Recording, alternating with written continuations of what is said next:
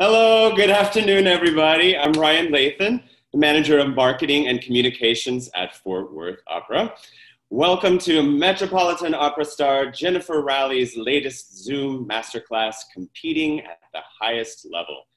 On behalf of everyone at FWO, we are so thrilled and super honored to have beloved artist manager Ken Benson of Ken Benson Artists and Yay! graduate student career consultant for the Juilliard School with us this afternoon. Woo! Yay! Yay!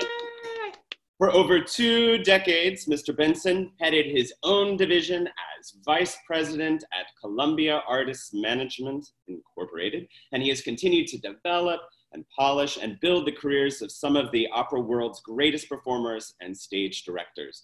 He regularly serves as an adjudicator for some of the most prestigious vocal competitions in the country, and he is a highly sought after lecturer, interviewer, and writer on all things opera, as well as a panelist and host of the Metropolitan Opera broadcast.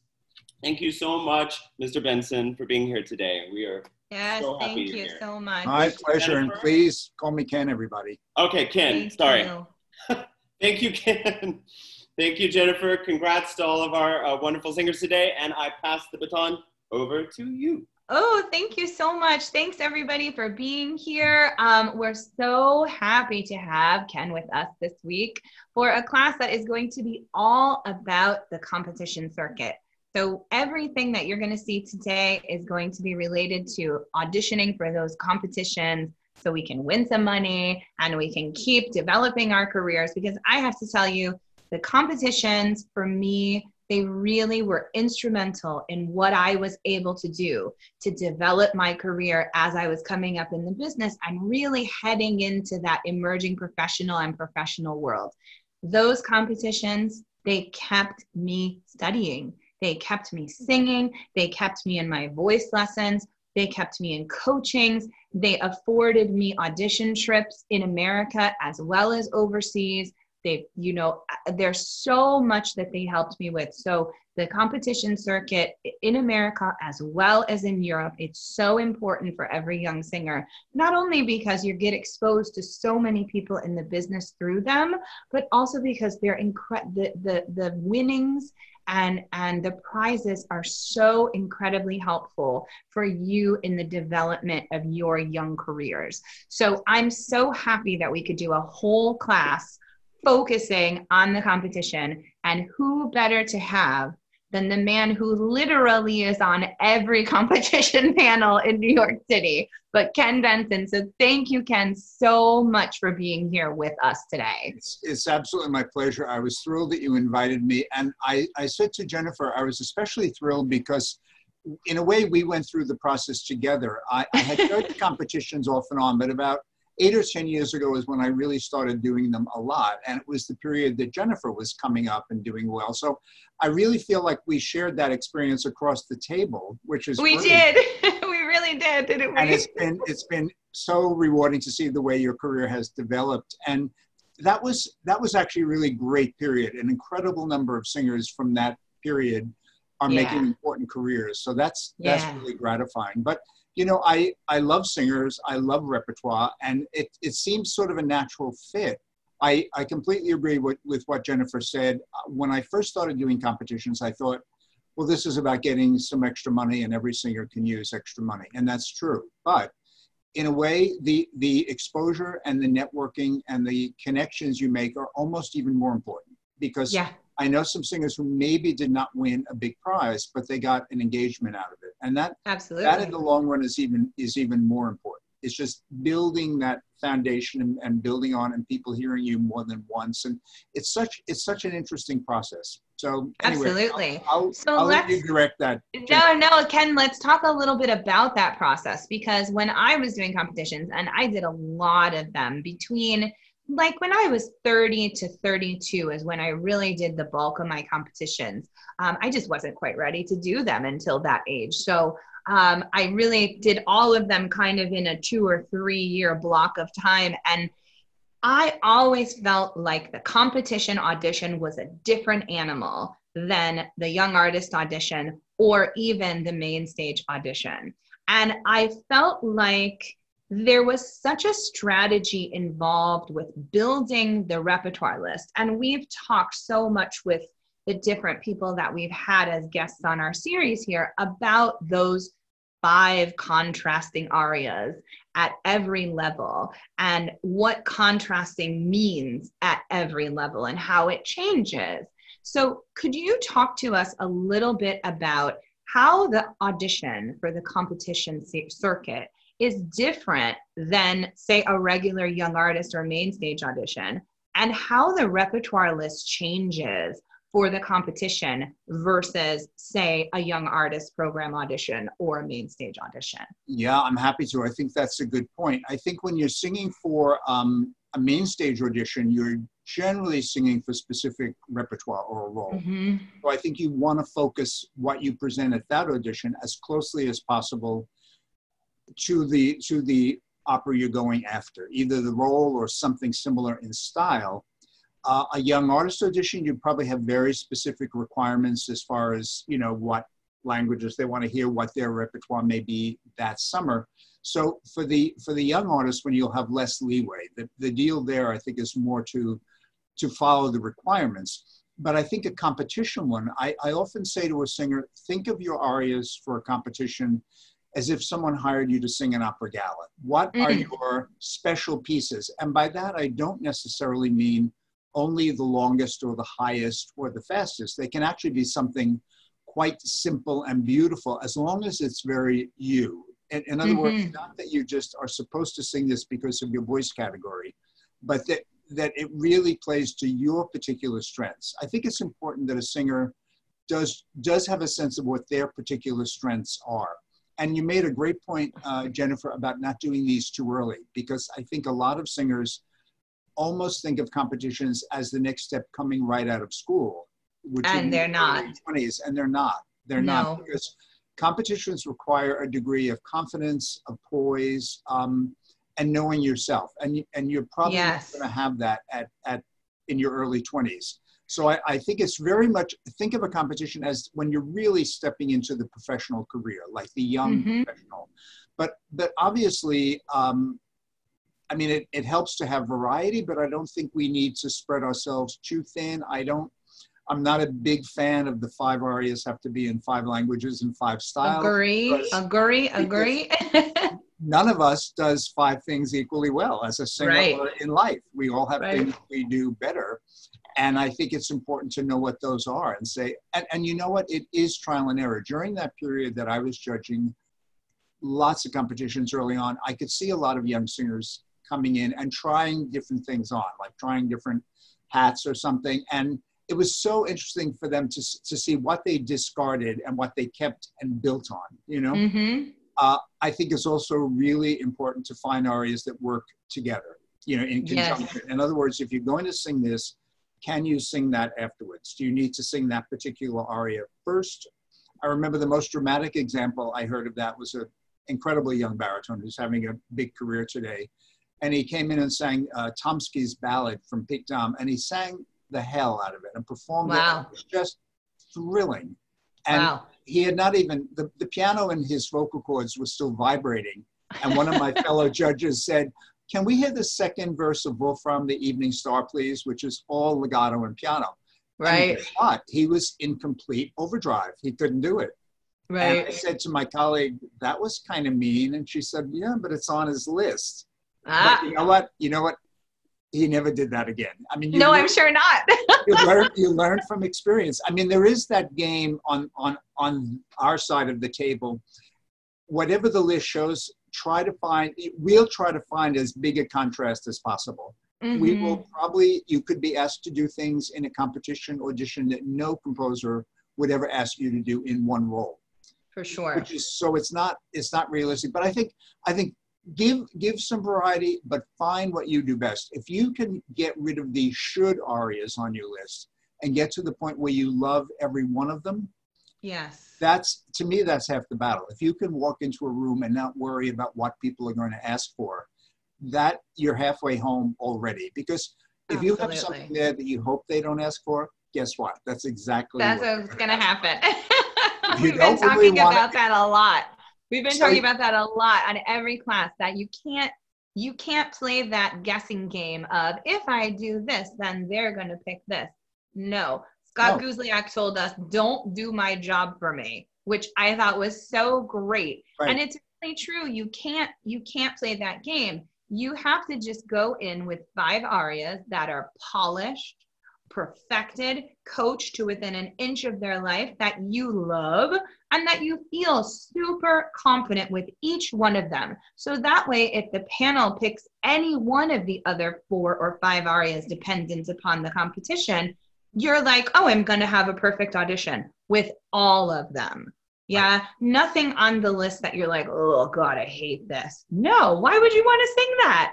You wouldn't I do always- that in life. You wouldn't do that in your career. If you really hate something, you're not going to program that in your season. You're not going to take that job. So don't put that on your list. Yeah, I can. Sorry, I didn't mean to No, interrupt I was just going to say, I always think so of the five important. arias as like you've got five arrows to shoot at the target, and you want Yeah. everyone to have a chance of really hitting the bullseye. Not, Absolutely. you know, I mean, there's always there's always the tenor who is a natural Puccini Verdi tenor, and everybody loves that, but he feels obligated to have Tamino or something on his list because you know. And you know what? That's what they'll ask for. And I'd rather Yeah. someone sing three Puccini arias really well it would- Yes. I'd say that's who that singer is. That's what they're about. Absolutely. So, in thinking about the ARIA package and the five to six that any competition generally asks for, how do we pick that one special ARIA that becomes the starter ARIA? And for most people, it's the starter ARIA for the season of competitions. Um, I mean, we know, you know, when Angela Meade was winning her series of competitions, she sang Casta Diva at every competition. And that girl sang the hell out of Casta Diva. And that's why she won everything, you know? And when I was doing competitions, I had my one aria that I went into every competition and I was like, I got it, right? So, how do we pick that one special piece? Is there is there a length issue that we need to think about? Um, i- is there anything like really important that we need to have in that very first aria that really tells the panel everything they need to know in that first five minutes and then can sort of lead our audition from there? Well, I think uh, the, the first thing I'll say is you you have to go in thinking that if you really only sing one aria, if it's later in the day or something, you get to sing one aria, you have to feel at peace with that. You have to Mhm. say, okay, I only did one, but that's the one that I, I'm happy with. I think something that really immediately shows the color and the sweet part of your voice that because there's this really strange it's first impression that, that bypasses the brain. Um, one of my colleagues who judged competitions for years said, you know, we're all here because we have expertise on some level. But Mhm. we still have an emotional response first to a voice. She said, We're sitting here, that voice will enter five pairs of ears here. We'll then process it in our hearts, in our gut, and different results are going to come out. After that emotional response, then we start thinking about language and intonation and rhythm and, and but it's it's almost an immediate gut emotional reaction first. So what what what do you want? What either what part of your voice, what emotionally do you want to express almost immediately? You know, Mhm. you need to engage people. Unfortunately, people make the first impression very quickly. Then Yes. other impressions come along, but that first reaction to a voice is still very primal almost, you know? So I, think, I think you want to find something that you really, and, and that, again, that doesn't come easily. I mean, that for a young singer, you want to try a lot of things and you're learning something new and it's like having a new toy. So it is, it is, it is trial and error. I mean, in a way, Jennifer, you're asking about length. There is a theory that a short aria is good because chances are better that someone will hear you sing something else. But when Jennifer, I don't know if we're thinking of the same aria, but for me, the aria that really got in the groove for Jennifer was the aria from Verdi's Il Corsaro. Mhm. Is not short, but Jennifer did it so persuasively and so committedly that it, it totally worked. And people stop thinking about length. That's the trick is if you have a long aria, do it in such a compelling way. Tell a story, engage people. I always say to singers, by the time you walk into a competition, you don't have time for one more voice lesson or coaching. Yep. You are where you are. You may as well go in and deliver the goods and be happy about what you do. Don't try to second guess anybody. Don't say, oh, I heard she likes big voices or he likes this. That's right. It is what it is. And and you know what? It's it's such a personal response that if you go in and do the best you that you can, that's all you can ask for. And people Absolutely. either get it or not get it. And you can't control that. I love that. And I think that's amazing. I have a couple of questions popping up here in the chat, and I think they're valid. How uh, how important in that first aria, uh, someone's asking, it, are the fireworks, the coloratura, the high notes in that first aria? And also, how important that is it that it's in your fach right now versus maybe five years from now, something that's maybe more of a reacher uh, as far as the competition circuit is concerned. Because when I was coming in, I always had the one reacher. I always had the one aria that was just a little bigger than what I get hired to sing right now, but I knew in five years that was something I was going to sing. So maybe at that point, I wasn't going to get cast at any regional house for that particular role, but I would take it to a competition because it is definitely something that I can do in my voice. And in five years, I definitely saw myself going in that direction. So, how important are those? those fireworks and that reacher aria or something that's a little bit bigger or how how much importance does the panel take it takes those sort of things how, how much importance do they do they place on that well i always i always feel i mean if a voice moves i really to me that's an incredible asset not just yes. for canto, but for early Verdi and almost all music in French repertoire. So I'd like to know that a voice moves. Um, the tricky thing is that sometimes those firework arias can be the long ones. They can be, yes. you know, cavatina, cabaletta kind of thing. Again, it, I'm sure you've all figured this out hearing from different people. We, everything we all have this is a strong business of, of opinions we all have strong opinions so today is my opinions today is thinking yes as my two cents. I I saw a great masterclass years ago by Renata Scotto, and at the beginning she said, "Keep what you like, throw the rest away." And I thought, you know, amen. That's a really good way to put it. So absolutely, amen. if if if someone sings a slower aria and they have something with fireworks of any voice type, not just soprano, but of any voice type, I will really push to hear the movement and the fireworks. To me, it is mm-hmm. such an important part of singing and I like it, that if voice moves, I'd like to know it. So mm-hmm. chances are, if it's be, so, be prepared. What happens a lot in arias is people may start with something more lyrical and be asked to sing just the cabaletta or even a verse right. of the cabaletta. So if you're getting into that repertoire, be prepared to offer excerpts. You know, it's right. it's tricky. If you go in with your cavatina, cabaletta, that may be the only thing you sing. But then right. people have heard a wide variety of stuff. If right. not, I personally would really want to hear about the fireworks. If your voice doesn't move brilliantly, don't worry about it. I mean, just work on it in the studio, but right. don't feel compelled to offer it. But so I don't know if that offered the thing, but I, to me, absolutely, I, I, would say movement is very important in a voice if if the singer has it. Yeah, as absolutely. far as the as far as the the stretch repertoire, I think competitions. Another way competitions are different. Uh, if you're going to sing for Tosca in a regional theater, Vissi d'arte is actually not fully representative of much of the rest of Tosca. So yes. there are many sopranos early on who could sing Vissi d'arte but could not yes. sing the whole role. Yes.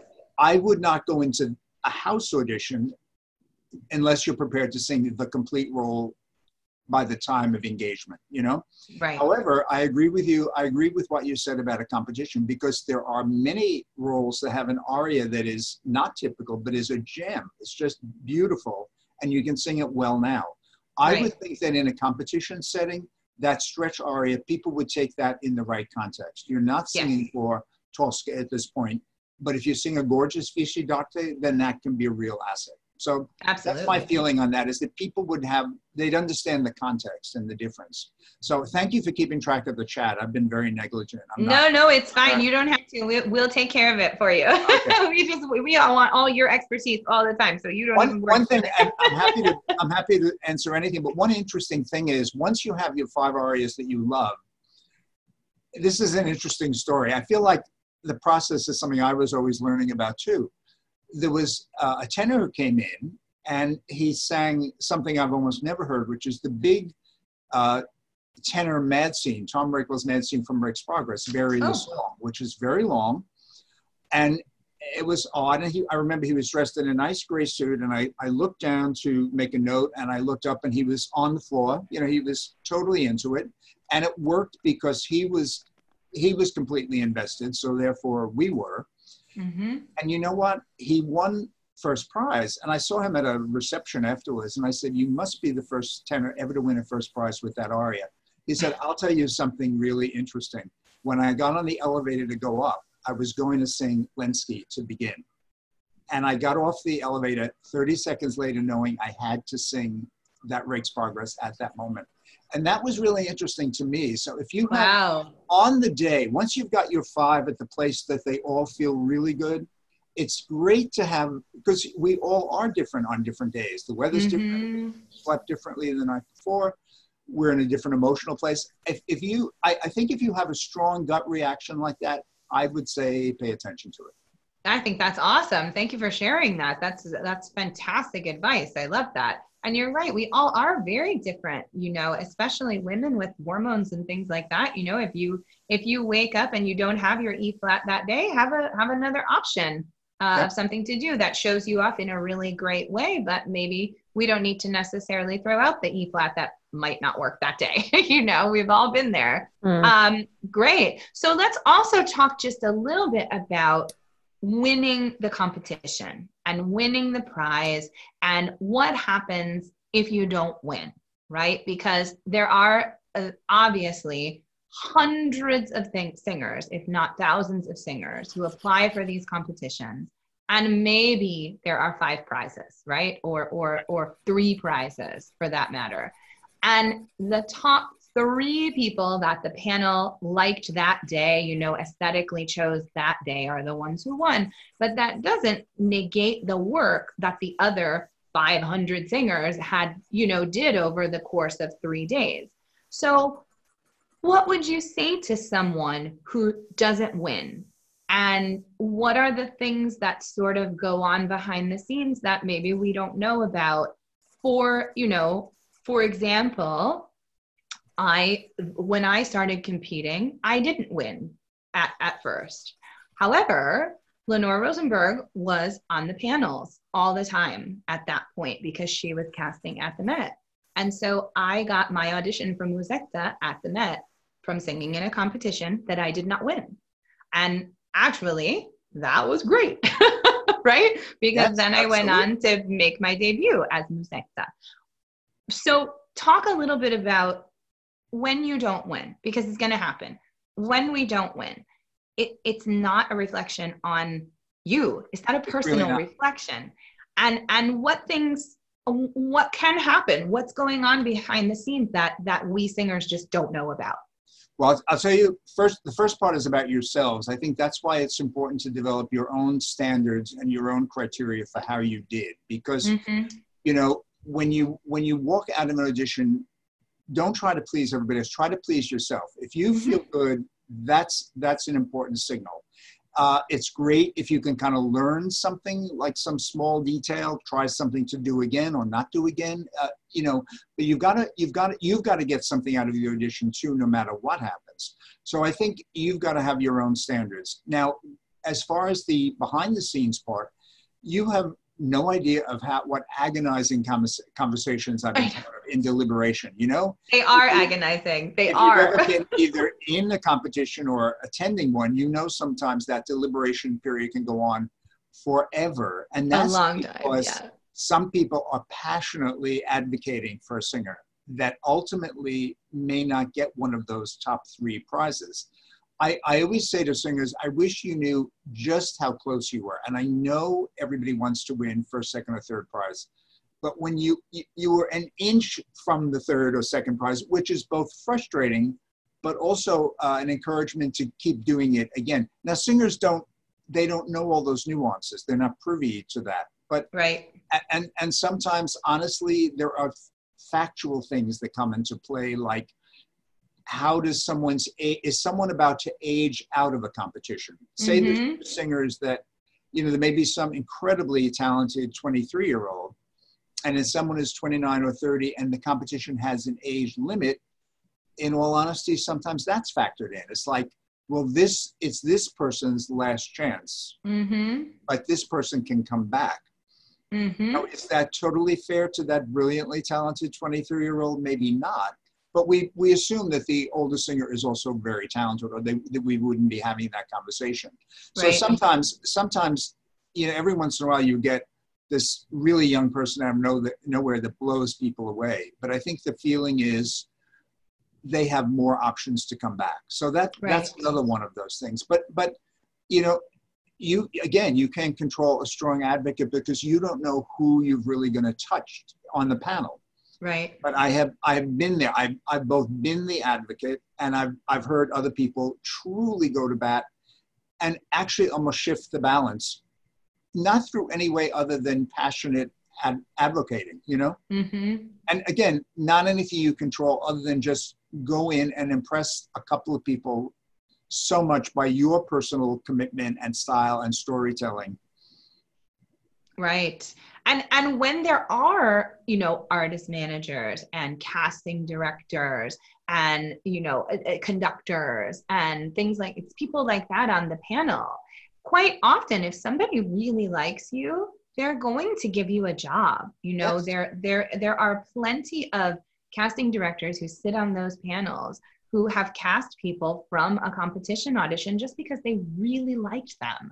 Um, Yes. And, you know, not necessarily did that person win that competition, but somebody fell in love with them or with their voice or, you know, what they had to give from that presentation. So you just don't know all the things that are going on behind the scenes. And and I have to tell you guys, I sat on a panel, a competition panel for the Metropolitan Opera National Council auditions several years ago for the first time. And I was blown away by being on the other side of the table and the reaction to singers and really like how you react to a certain singer and your advocacy on the panel for that singer is really i mean it's a crazy reaction i mean i i will just i'll never forget we had this 21 year old baritone from the university of michigan who sang look through the port from billy budd. And he was spectacular spectacular. And he had a moment on stage and and and we all got chills. And the the judging panel i literally was like no we have to give this kid something. He must have something. He has to. And and the judging panel had said no he's he's way too young. We can't we can't put him in the situation of going forward possibly and singing with the met orchestra in the finals. He's way too young right now but he can come back in you know several years. And i was like but but but I, I mean i really just i i really thought this kid had had a moment. And they did give him an encouragement award and and that was wonderful. But it was it, on the other side of the table you you would be so surprised what the panel does go through when talking about all of these singers because so many people have so much talent. And and the panel really does want to help you. They really do want to give you money and and help you on your journey into your professional career. So you know anybody that goes into a competition know that know that you're standing in front of a panel of you know 3 to 9 people or whatever that really do want to help you in your career Absolutely. in one way or another. You know sometimes we go in and we get it in our head oh they didn't like me. It, it- you can't judge that. You, No, you absolutely can't. They they want to help you. They want to be there for you and they want to listen to you. That's why they're there. They wouldn't have agreed to do it if they if they didn't want to. So No. with that said ken let's can we talk a little bit about what you see going forward into 2020 because we've talked about this on all the classes so far. And and how you see competitions especially you know there's some that actually do happen in the fall. How are those competitions going to take place? Are they going to take place? Or are we going to see everything sort of moved into the spring? Do you have any do you have any thoughts on that I, I think it's a mixture. Just one quick follow up. I just want to reiterate that anytime Yeah. you walk into a room, people don't sit in a room for five days hearing singers unless they love singers. Yes, yes, You know, thank you. Someone said, Thank you. someone said to a friend of mine, "Wow, Ken must be making a fortune. It's competition season." I said, "You know what I get? A sandwich. I get a, a sandwich. You do. There nobody I'm here- gets paid to sit in that I'm room. here because I love singers, and I have a thing that anytime a singer walks into the room, I push a reset button. No matter what happened previously, I kind of go, okay, reset, new person, give them new energy, new space. Now, going going forward, I think it's going to be a mix of things. I think it's it's been announced now that the Met National Council is going to be all virtual because, and I I, I think first of all. Thank God they're going forward because I think singers need any kind of help they can get right now. Yes. And I think the Met very correctly feels that however they start the process, if it starts virtual, it has to continue virtual until Mhm. until the semifinals.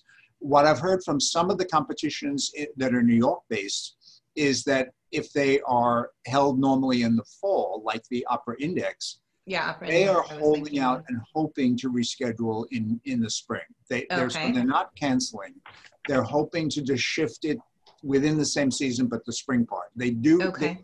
they all really want to do it for sure. I Yeah. mean, that's why these foundations exist. There's nothing more frustrating than not giving singers money. But Yeah. I, I, I have a couple of smaller uh, virtual competitions that I'm going to be judging. We'll see how it works. I mean, I think we've sort of gotten into the since since a lot of um, competitions did video screening or young artist programs did video screening as a first round. We've all gotten a little bit more comfortable with watching them. They're not Right. ideal, but I think if everybody's competing in the competing in the same playing field, but I think I think we're all now finding out that we have to sort of get up to speed on on our audition videos as much as possible. Mhm. Yes, thank you. We uh, we all do. yes, All you guys are being all- creative, so therefore we have to be creative. Yes, Because we can't, we, I mean, one of our, one of the life's blood of our job is presenting new singers in auditions, and we can't do that right now except through recording. So, Yeah. you know, I, I, I'm sure it's something you all think about and talk about all the time, but I think they're assuming an importance. I mean, I think from what I know from my colleagues, uh, you know, the Tucker already had to skip last year, which they felt really badly about. Because Yeah, another thing, another thing about the competitions, they're very often tied into like a showcase winners concert, which is very nice. A lot of the winners get a chance to appear in front of an audience Yes. and that's very often a, a fundraising event for the foundation. So that's another thing they've lost right now are those kinds of events of presenting their winners in a concert. So I, Yeah. I, I right now nobody is happy about. Nobody wants to think they've canceled them. I think they all want to feel they're postponing into the the magical spring, whatever whatever happens in the spring. Whatever happens there, yeah, for sure.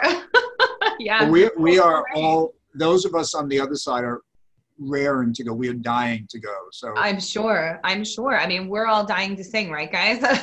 we're, I'm so I'm sure everybody's ready to to get moving and get working. And I'm I'm so happy that you know a competition like the Met has sort of set a precedent and said, okay, we're going to do this online because we need to hear singers and we want to hear singers and we need to keep the singers singing. And I think that that's going to sort of flow through the business into other competitions, into other auditions and things like that, where, you know, if we have to sit on Zoom and have a panel on Zoom and one singer singing, we know we can do it. Yeah. We know we can do it and we know we can continue building careers and moving young artists up through the business and and really I I, I love I love that the Met is doing that. I think it's fantastic. And I think it sets an example for everybody else to sort of be like, okay, they're being creative. Let's be creative. Right, So, right. with that said, shall we hear some audition? I feel like it's time. I think Um, that's so great. again, if I yeah? can just do a postscript and then I'm ready for the first singer. Um, Let's do it. when when we come back, we may come back quite quickly. We don't know. I mean, if there Mhm. is this incredible vaccine, you know, it's it feels like forever that we've not been active, but we could come back quickly, and that's why I think it's so important that people be in shape and in form. And I think the singers that are most ready to jump right in whenever there's going to be an opening, you know. I don't. I don't Yep. think that the opening is going to be as agonizingly long and slow as the shutdown has been. I think it could happen Yeah. quickly. So anyway, just wanted to Thank you, Ken, so, so much. So, let's get started with Miss Chloe. Are you there? I am. Hi, everyone. Yay! Hi, go ahead, sweetie. Hi, everyone. My name is Chloe San Antonio, and this afternoon I'd like to offer Ces Lettres from Werther by Massenet.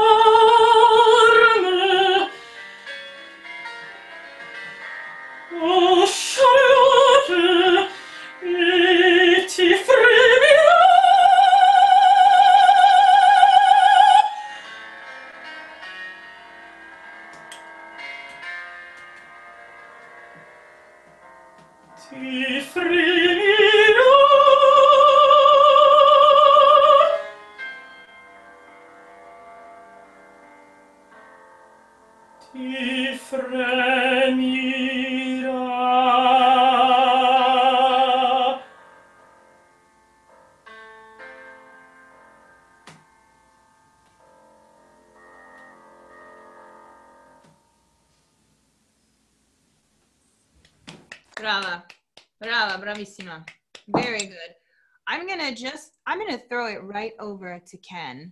Uh, and I'm gonna ask him uh, as a panelist what he would do next. I'm, s- I'm sorry, you, you- are you asking Chloe what she sings, what she would normally no, sing no, next? I, we can ask Chloe what she would normally No, sing I'm, next. I'm happy to say a few things. Um, yeah, please.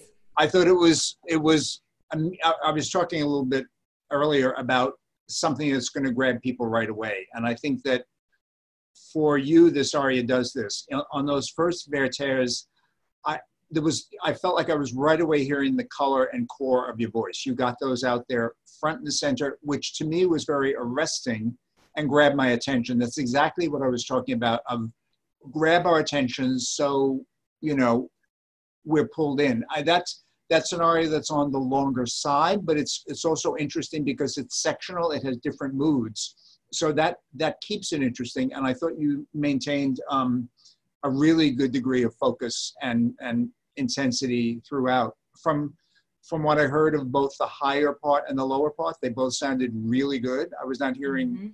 limitations. Uh, To me, what I would consider a, a really full, full voice. I don't know. We we get into weird terminology. A full young mezzo, I would call you. You know, uh, I think you sing at least one thing that moves. In if we had lots of time in different situations, this is a situation where I would immediately want to hear the Rossini because that was impressive. So that's just my initial reaction. Chloe, can you tell me what what else is on the list because I don't have a list uh, over here. Can Oh, you just tell sure. us what what the Yeah. other things on the list would be for us? Um, normally, I would sing Pensa la Patria from L'Italiana. Um, I also have an aria from JFK that I really love singing. It's sort of my like special piece. Mhm. Um, and I have, I'm kind of working on the last few. I mean, I've done like Dorabella, but that doesn't quite feel right um, for competition. So I have sort of the rest of it is in process. in So- process, yeah. Um, I definitely I agree with Ken. I would want to hear something that moved. Yeah. Um, I I really I, I love to hear parto parto in an audition. Um, it Mhm. shows a lot, and it shows also your beautiful color also right away. So Mhm. it, it's one of those arias that it, it shows a lot right without having to have the rossini coloratura which is you know sometimes is quite fast and sometimes we actually don't get the full scope of the voice in that rossini coloratura stuff but parto parto really does do that. And i i think that might be um i think that might be something very exciting for you.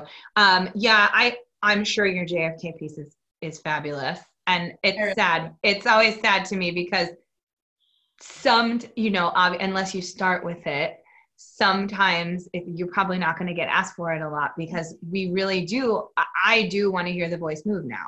You know that's Right. that's really the that's really the thing. But you know that jfk piece can be something that you would then put on the gala after you win the competition or win one of the prizes or something Right. like that then you can you know, put that onto the onto the gala performance or a concert or something like that where we feature the winners.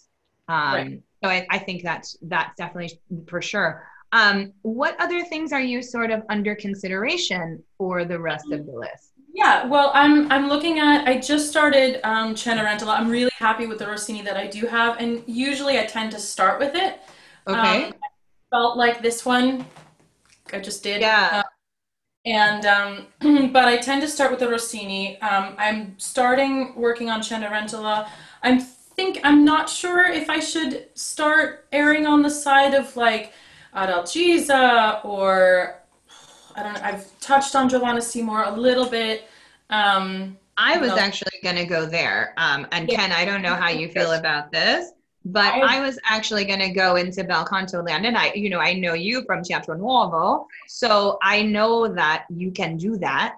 And, you know, something like Adalgisa's aria or Sara mm-hmm. from Roberto Devereux right. would show me a different kind of coloratura and a different kind of, of ascent up into the top of the voice than, say, the Rossini would. Ken, I don't know how you feel about that, but I'd, I'd love you to. You can't see my pad, but I had Sara and Adalgisa, so that's. Ah, there you go. there you no, go. I, I, there you go. to me, the general categories would be bel canto, French, and some of the bigger Mozart. I also think Parto is a great idea, but to me, Adalgisa can be sung very lyrically. My, mm-hmm. One of mm-hmm. my key philosophies in voice is I like to hear repertoire sung fully. I don't mean pushed or big, but I like to hear that solid core. So I want to hear the singer in a, a place where they can still be comfortable enough to fill it out. Not that they're operating at the maximum of their limit. And mm-hmm. I don't mm-hmm. think, certainly Adalgisa's entrance aria and prayer would be really beautiful. And you can do all these beautiful colors and dynamics. And I had Sara also. Uh, so that's exactly what I hear. Did you mention Heggie? I didn't quite hear. Did you say a Heggie aria? Okay. No, um, the, no. The one, thing, the one thing I was going to suggest, I, I'm not very big on shoulds on a list, but one thing now is that even before the pandemic, 21st century repertoire was becoming really important. That, that yeah. newer operas were flourishing in a way that we had never seen before. Now, when we come back, there's going to be newer, smaller chamber virtual operas. And there's a lot of good stuff for mezzo in that. I thought of Dr. Atomic, Am I in Your Light? Or have, uh, yeah. Gatsby, Great Gatsby. I think yeah. I don't want to say it's a should, but I think it would be valuable in addition. But I think I think the longer line bel canto and the Rossini both would be wonderful. Yeah, I agree mm-hmm. with you. I also was thinking about that flight, the flight aria. Um, oh yeah. excuse yeah. me, the one where she's excuse me, where she's talking about the luggage and whose yeah. luggage is this, and yeah, I think that might be might be really nice as well. Um, excuse me. We have a couple of questions up in the chat about um, how we are conversing with you now. Ken, how do you feel about this? Would this be something that auditionees should get very comfortable with, like audition interviewing in sort of an inter um, a virtual setting like this for the fall audition season type of thing? I personally would like to see it become part of it. I think it's really interesting to get a sense of who the sing- who the singer is as a human being. I think it would. There's always the issue of time because in any audition setting, people are trying to fit in as many singers as possible, so they're very aware of time. But I would love a brief interaction to just get a sense of the person. So I I would say be prepared. It may or may not happen, but I, I personally like the idea a lot. And I think I totally if, someone, agree with you. if someone was going to work with you or hire you or work with you as a conductor, I think that would be really a bonus to get that sense. I totally agree with you. And then uh, Lisa wants to know if we could comment on her dress and the space she is in for a virtual audition. For example, talking about the way that it's set up, how it looks, um, the track, and the the sound quality uh, for a virtual audition. I, I think if we look, were in that setting. I think the look is great. I mean, I love I love the the, the blank background. The dress is very dramatic. It's beautiful, mm-hmm. classic and simple, but but theatrical. I always it's a tricky thing. I think that a, an audition audition attire for both men and women should you don't want to be in full concert attire necessarily, but you want to act mm-hmm. like it's an occasion. I, it's it's like a mini event or mini performance. So mm-hmm. I think for that. I mean, the sat the track was, you know, it was it was limited and tinny, but that's where we are. That's fine. But I thought visually, uh, it was it was very good. I thought, and I thought it was dramatic and compelling without anything extraneous. No, I agree with you. Um, Chloe, can we just talk? Do you have an external mic over there? I do. Um, I'm not using it right now because I just bought myself um, an XLR mic, and I was Okay. having. Uh, I have a little. Uh, mm, this is. I'm learning. Uh, I have Yeah. a little. Box. um, I have a little box, and it seems I was nervous that um, it would only. I would only be able to hear you through the monitor coming out of the Yeah. little box. So I didn't use it today. I just used. I have my iPad Pro set up, um, so that's what I use. Just for full disclosure, I did. I do have again the XLR mic, which is what I've been recording on, which I really love. I Um, would, but- yeah, I would be very curious to hear. Yeah, I'd Yeah. be very curious to hear the difference between the iPad Pro and the external mic and how it actually might pick up more colors in your sound. Yeah. Because what um, the one thing that I really wanted, especially at the beginning, when you really got into it and grounded, and you were so nice and open, and all, everything was just flowing beautifully. At the beginning, I lost some of that resonance through the middle voice. And I don't know if that's the mic or if it's that we just need to open through here just a little bit more to really allow the sound to come out. But I I wonder about I wondered about the external mic and if that might be something to to just think about for the future. I mean, I can plug it in real quick if you want to hear a phrase. It's No, no, it's it's totally fine. I just wanted to kind of put that out there for you in case in case you hadn't went through you know and bought the external mic and all that fun Okay. Technology stuff that we have going on. Yeah, I thought it was it was really really really compelling, and uh, I agree. I I really I think it looks great, and you look great, and and really you you're a strong contender. So figure out that the other Yeah. couple of pieces in there that you really want to you know hone in on. And, Um, Just ask a couple of pieces I forgot I wanted to ask about. Um, I'm not sure if um, I was thinking about the bigger Mozart, which is obviously the bigger Mozart pants roles, but I was also entertaining the idea of idea of Elvira. Mhm. Um, I was also entertaining. I'm not sure if Favorita is too far or like You mean O mio Fernando?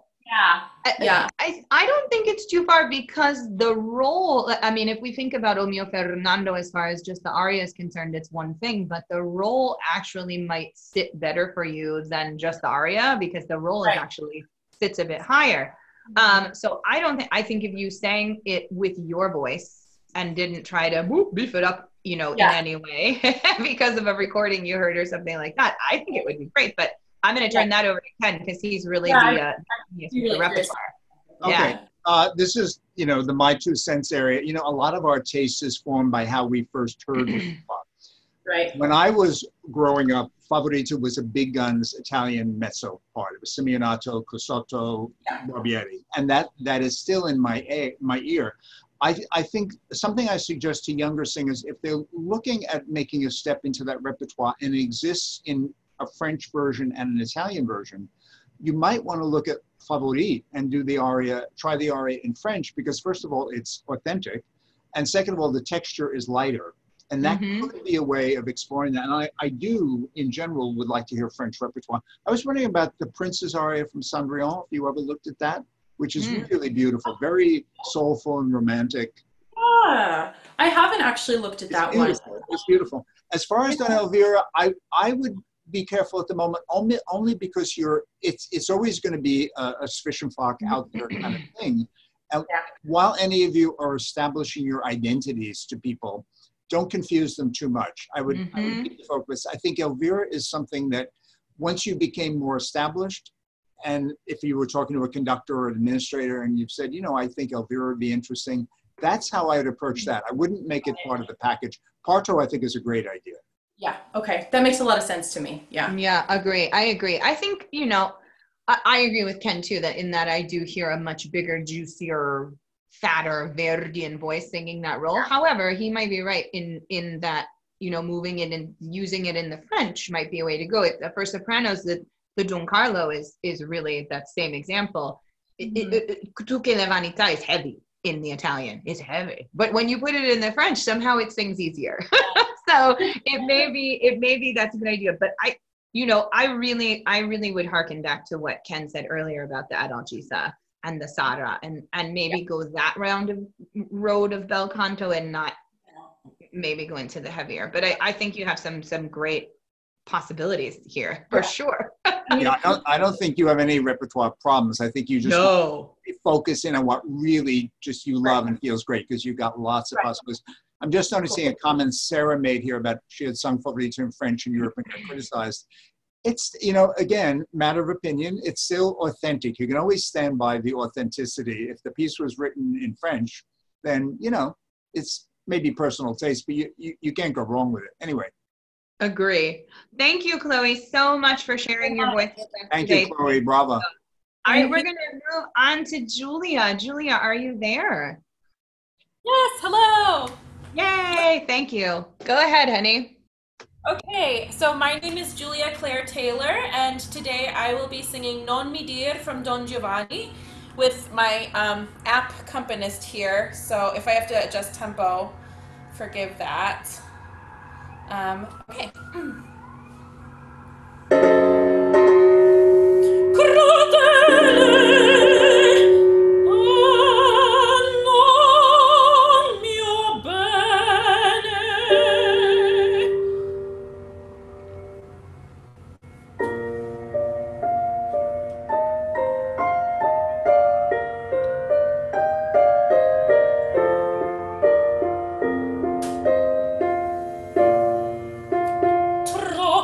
定要。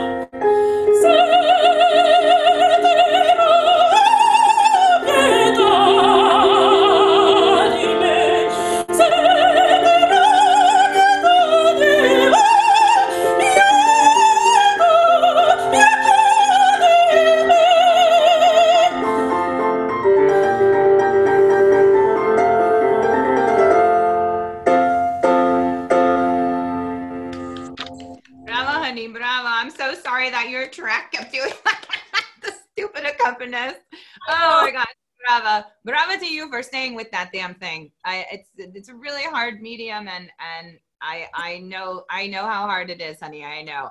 But brava to you for doing your own thing and adjusting as needed and being a pro and making it happen. Brava. You want to tell Ken and I what your other arias would be that you would present uh, in a competition? Sure. Uh, so I'm in a bit of a transition right now. Um, I previously would have presented something like Ach, ich liebte, Adjunio Petite Table from Manon, um, even Fiordiligi from uh, Così. But um, I'm hoping to uh, present uh, coming soon um, Donde lieta from Bohème, um, hopefully the Bolero from uh, uh, Vespri Siciliani, uh, Siciliani, and um, oh gosh, my brain is blanking. I'm sorry. Um, I have, uh, and I also have an aria from Regina um, that's a little bit more theatrical and it better. I, I think it shows my acting well. Um, and uh, yeah, but I'm open to suggestions, obviously.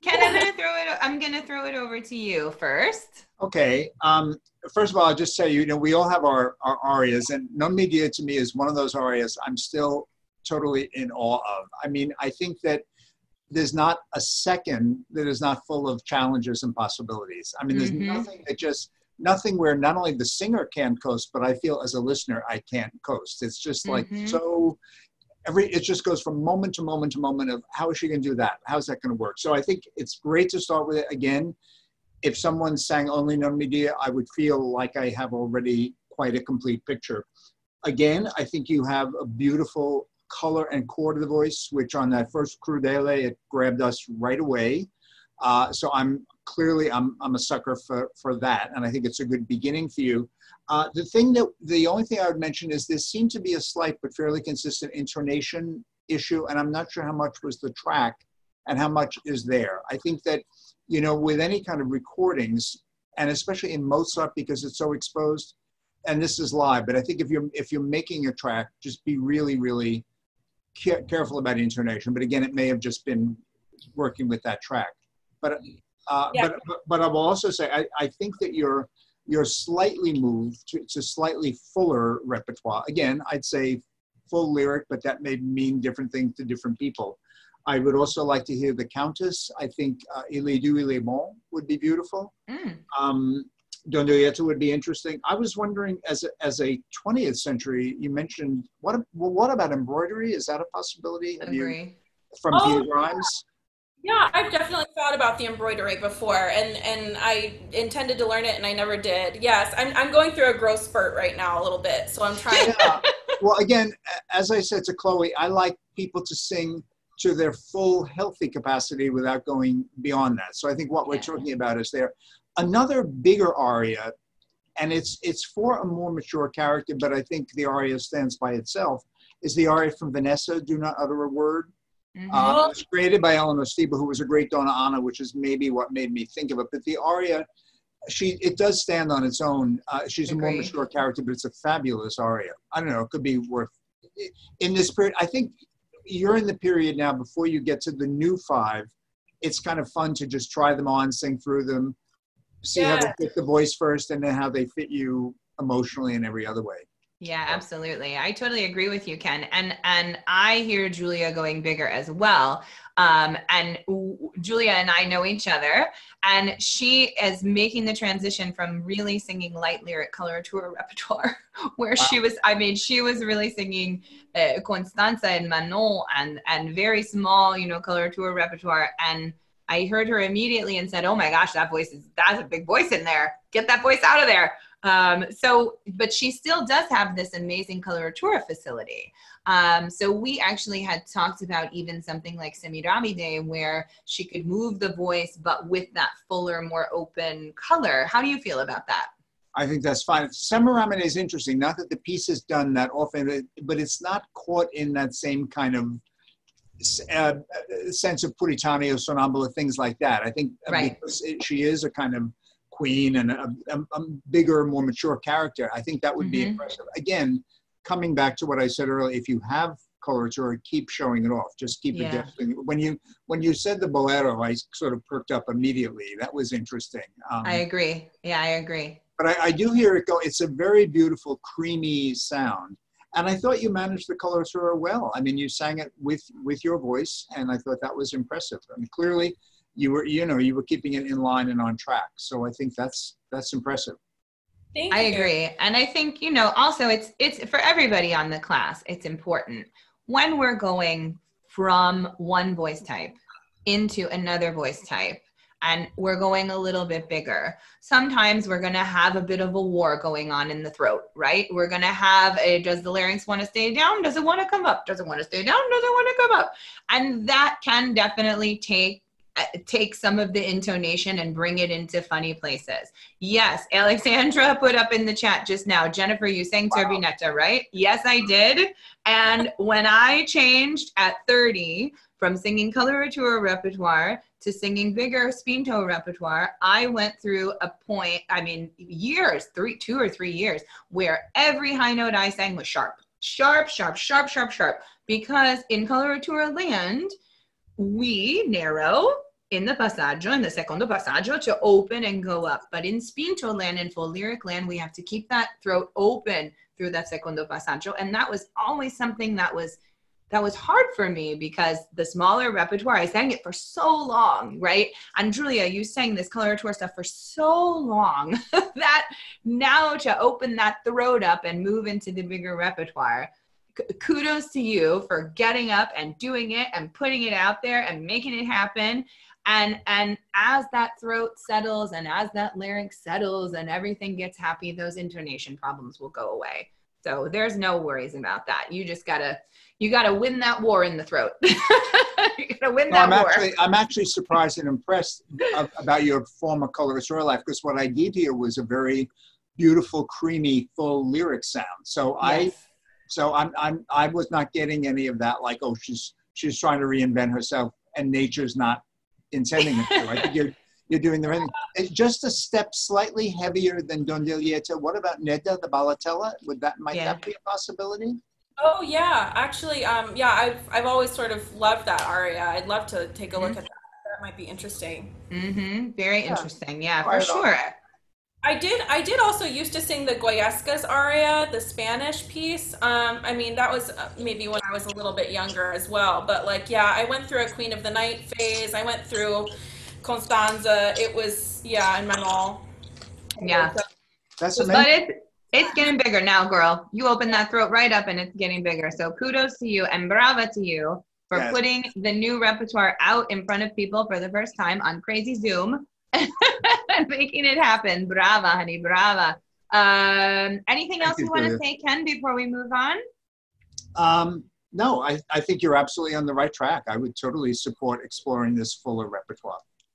great fabulous julia thank you so much sweetheart Thank you very much. All right we're gonna move on to joel are you there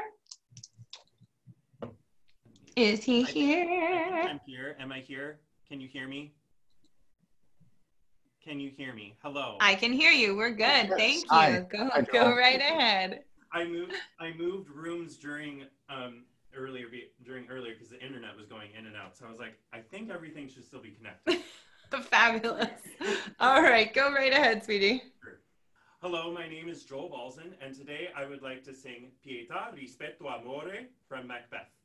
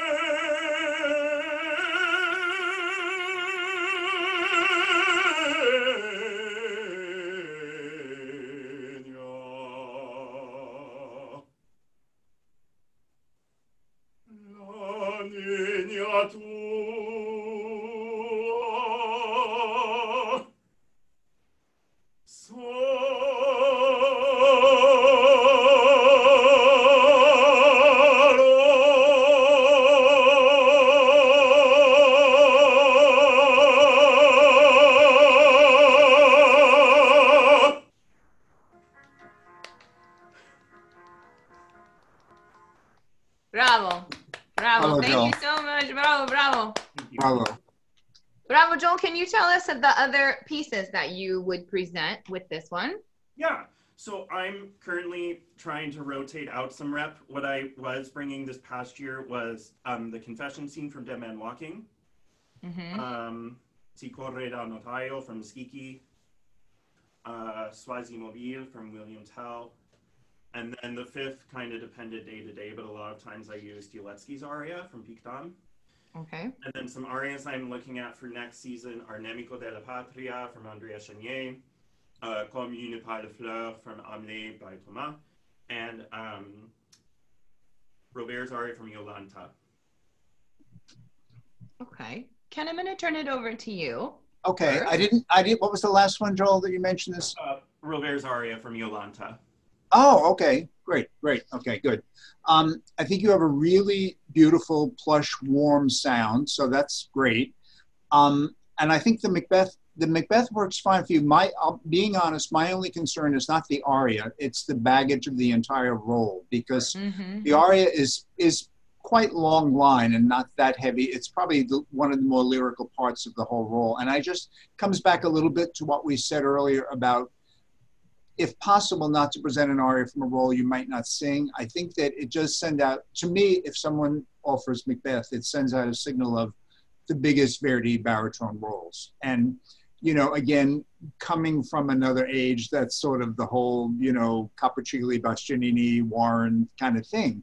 I think I think you could achieve the same success and the same goals with other arias that you know w- that would not suggest that. I mean, uh, some things I, I, I right away when I heard the beautiful sound, there's a real kind of plush quality to the voice.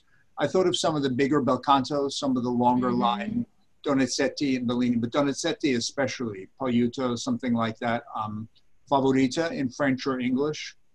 Uh, so Italian, I hear a lot of bel canto. If you wanted Verdi, again, I always come back for a young baritone to Rodrigo number one. I think Mm-hmm. you know, I like, I, I maybe, I don't want to be too caught up on age appropriateness, but if possible, I just think if a character is age appropriate, it's one less thing that you have to overcome.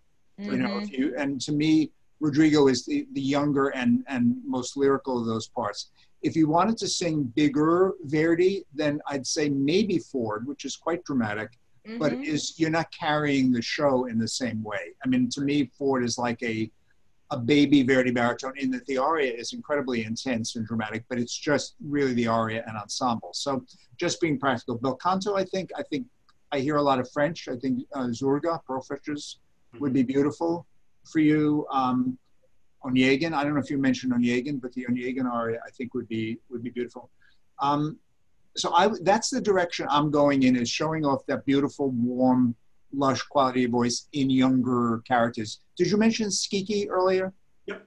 Yeah. See, I I wouldn't go there necessarily. Um, Mhm. But again, if you wanted bigger, this Questo Amor from Edgar, which is gorgeous by Puccini. Mm-hmm. Really big. What about Silvio and Pagliacci? Mm-hmm. I've sung Silvio and it doesn't sit right. I've actually Ah, okay. the prologue, Okay. And The prologue. You know, that's that's the interesting thing about a session like this. Based on four minutes, I can hear something, but if the singer's already tried it out, then you've done all the Mm-hmm. you've done all the work. You know, Yeah. these are- these are just me kind of throwing stuff out there, and if two or three of them feel good, that's great. But that's that's how I hear it going. Is that play? I mean, anytime anybody has a beautiful voice and a warm sound, you want to play that up as soon as possible. So, Jen, over to you. No, I I agree with you. I, I Joel, I know this is going to be a irky question, but I really love the top of the voice, and it blooms in such a way that makes me think you might be a tenor, like that Heldentenor, happy land up there. Have you ever heard that before? every few months. yeah. Have you ever explored? uh, uh, Here's the reason I say that. A Heldentenor is basically a baritone with a high extension, right? So pretty much a held tenor doesn't sing above a B flat. There's some B flats in Otello. There's a B flat in Fanciulla. Uh, Tristan, I think, has one. Really, we don't go up above the B flat. And you seem like the A is super easy. So that says to me that the B flat might also be super easy. do you, uh, how do you, I mean, have you talked about that with your team and, and the people that you're working with? Yeah, we it comes up every few months, and then I run back to my team and I'm like, I got it again. Is it time? And they're like, no. so I mean, and I don't know if I will go down that route. I've looked at, I've like entertained it once and like read through. I don't remember which aria, but I read through something, and Uh-huh. like, this feels awful. Is it, well, but here's the thing you have to turn a little differently than you do as a baritone. So, for example, right now, where do you think that, where do you think of your turn happening? Uh, at E, most of the time. At- At E? I can sing an E open if I really want, but I prefer to turn it, and I've been turning more on E flats recently. Yeah. Yeah, the the tenor really I, I mean the, the baritone obviously yes uh, e, e flat needs to turn but as we go up into the top you might even want to start on the D but for tenor land that E flat and the E is really where the comfortable turn is to go up for the A flat and the A so if you're already doing that it probably is just a matter of where the larynx is placed in the turn Mhm. does that make sense? And I, I just, I, I hear your speaking voice too, and I just wonder if, I just, I just wonder if maybe what you tried wasn't quite the right tenor repertoire. Do you know what I mean? Because the Heldentenor repertoire, I'm, I'm very serious with you. If you sing Siegmund or it, it's literally the same range of what you just sang. Right. Quite literally, exactly the same. But it, the color of your voice is so great up there. And then the bottom, I lose some of it. And that tells me that perhaps you you actually want to sit a little bit higher. Could, would you mind to try something for me? Of course, yeah. All right, sweet, sweet. Uh, just um, E, uh, like a French E vowel for me. E, e, e, e, ah.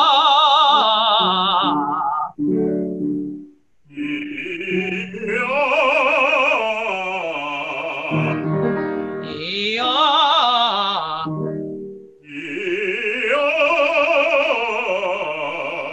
Is your larynx staying down or popping up on that E flat? Can you check? Now it's staying down. There we go. Try again.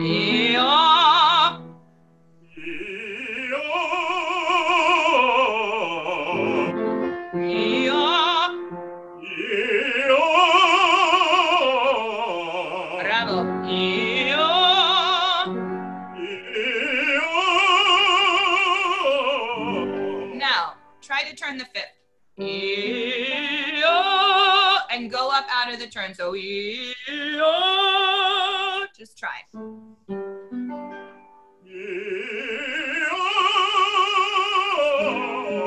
This one, same thing, turn the fifth.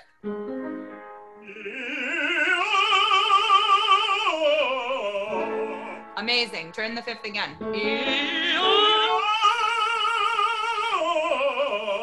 Do that one and don't let your larynx pop up. Keep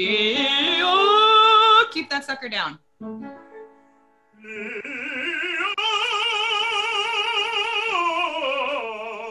One more. Keep the larynx down through the turn.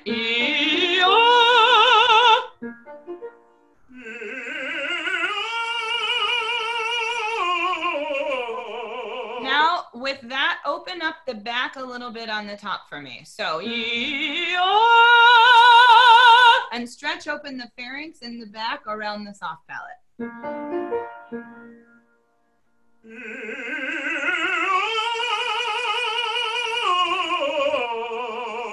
I mean, that's a B flat. Mhm.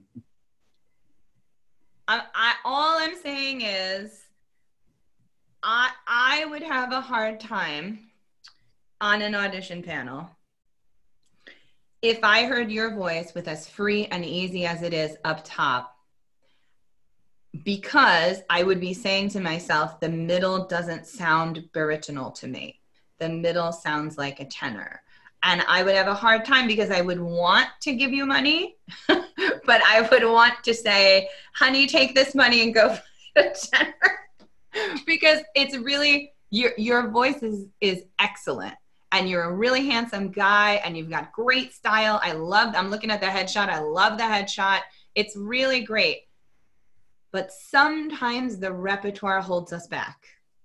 Sometimes if we're not really singing where our voice wants to be, even though we are very, very talented and you are very, very talented, I wonder if it's holding you back from the step that will really take you into those major A houses around the world. If you if you just take a few months and explore the upper register and see what might come out. Sure. Because that's a pretty damn easy B flat for a baritone. it didn't feel easy. It looks and sounds easy. I mean, listen, high notes are never easy, right? Everybody says to me all the time, "Oh, your high C is so easy," and I'm like, "Oh my god, no, it's not." I'm like, right? Because you're thinking technique and this and that and the other thing. But to us, it vibrates in a different way. Mhm. Have a thought on it because it. I, I just the the chat also blew up. Just so you know, Uh, I wasn't the only one thinking it. Pop-ups right below your chin. What'd you say, honey? I said I keep seeing pop-ups right below your chin. Yeah. hello, hello. Yeah, no, I just I know for me when I was your age, when I was 29, that I hit a roadblock at a certain point where people stopped taking me seriously because I wasn't willing to move out of the coloratura repertoire. Because I thought that's what I am. And then I went to Italy to study, and they said in Italy, you are not a coloratura soprano, you are a spinto, you need to be singing Verdi. Yes, you can sing coloratura things like Trovatore and things like that, Ernani, blah, blah, blah, but you are not Lucia. You are not, period. And I, I, I was like, what, what do you mean I'm not Lucia? I love Lucia. but when I started exploring the bigger repertoire at 30, that's when my world opened that's when i started winning competitions. That's that's when i started really having success. And it's because i had something in my head that i thought i was but everyone else was hearing something different. And if i'm not the first person to say that it's it's just a possibility that it's might be holding you back a little bit and I say that because I, I really think you're super, super talented. Thank you. Yeah. Is it just in your head? Do you think a, t- can you make a, make a sound of what you think a tenor sounds like? No, I'm serious. Here, I'll just give you this right here. This is easy for you. I don't want to do that. Just make us make a sound of what you think on top a tenor is supposed to sound like. Same exercise. Yeah. hmm Okay. Try. Could I try it just on ya ya ya ya? Yeah, try. Yeah, yeah, yeah. I don't care. Yeah. Ja. Ja, ja, ja. Okay, well, that's fabulous. Your larynx is a little high, but it's still a great sound. So, what's so wrong with that? Try that with a low larynx now. Yeah, yeah, yeah, yeah, yeah,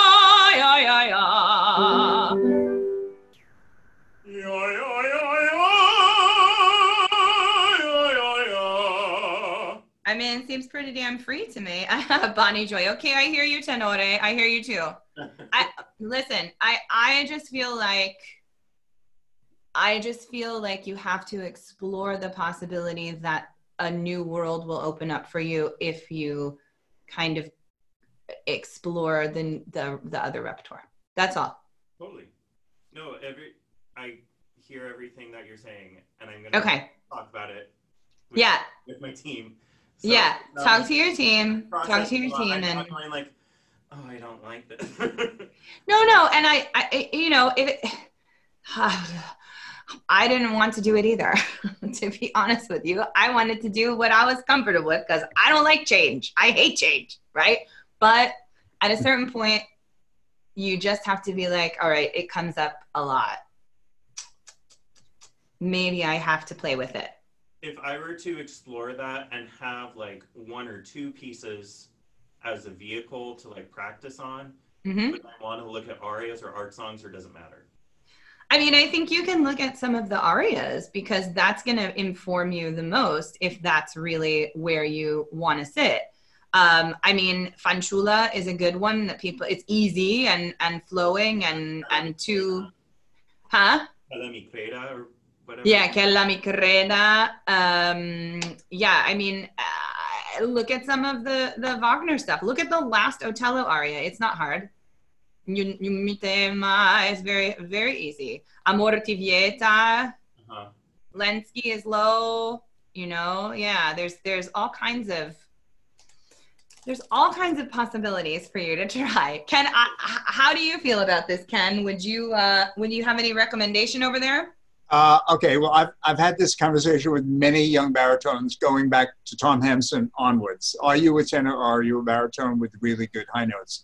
Um, what I, I'll be honest, I, certainly in the exercises, especially the last one, I'm just suddenly hearing a tenor ring because mm-hmm. I kept mm-hmm. mentioning a warmer sound, which didn't suggest. I, am a big believer in color, not just range, but also the color of a voice. And I was not hearing so much of a tenor color until you started doing the exercises in the beginning. I mean, I think in a way, someone wrote in the chat a couple of things interesting in the chat. Someone said it's not just a technical thing; it's an emotional thing, which I think it is, and you've touched on that.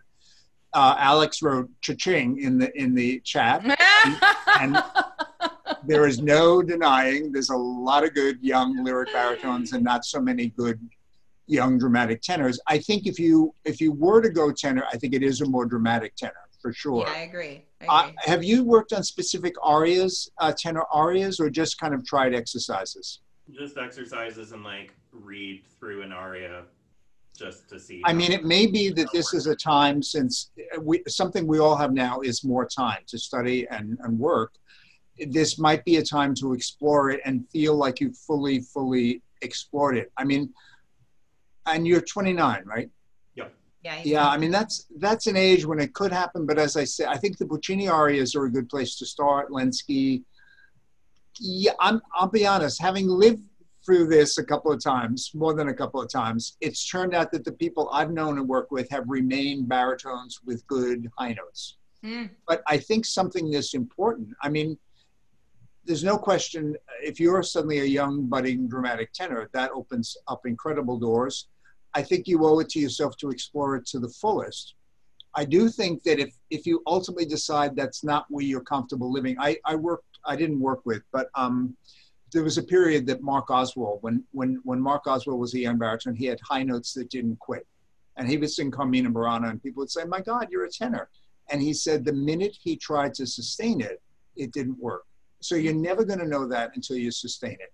I mean, it's interesting because the exercises that Jennifer just did with you was how Joan Sutherland became a coloratura because she was singing speaking to her repertoire and Bonynge tricked her and kept vocalizing her higher and higher and said, well, that yeah. was just the natural that you sang. So I think my my feeling is more maybe a little conservative is to fully fully explore it. So whichever way it goes, you may say, I am a tenor. It could happen at 29. 29 is an interesting time for a tenor to be sort of born.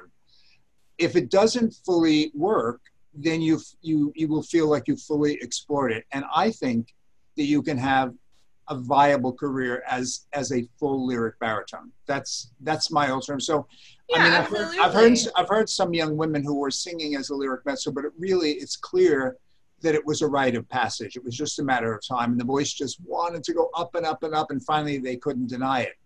I'm not getting that with you. I, I think that if you remained a baritone and sang some of this higher repertoire, you will have a very viable career and shot at it. But I think you owe it to yourself, based on the conversation a little bit we heard, to explore it and feel like you've really given it a shot. I, I, I think you have to live there a little while in your mind and, and, and your voice, just you know, for a couple of weeks or even a couple of months. Mm-hmm. See what the tenor thing feels like. Things, sing through some arias you know what would be I, an ideal situation for you, and this is the, the perfect scenario, would be a major major opera company with a young artist program that understands the situation and is willing to give you a couple of seasons to maybe yes. sing smaller you know there are in, in operas like parsifal or salome there are small but important tenor parts that you have to sing with fullness and heft that are great transitions without singing one of these marathon roles in a perfect world, I would say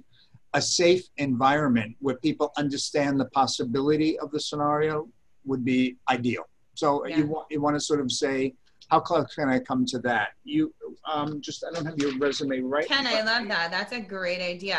I think that's I mean that's really what I did too. I mean you you you find a young artist program that's that's got great education and and really can nurture that process.